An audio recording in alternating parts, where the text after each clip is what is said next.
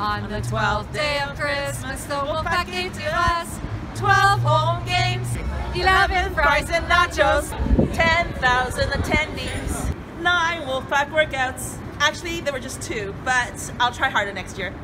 8 string tokens, 7 tries per game, 6 players featured,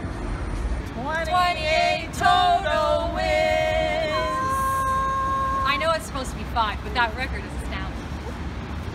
4 coaching staff, 3 fun years, 2 Wolfpack mascots, and promotion to Super League. Oh, oh, oh, ho! Merry Christmas!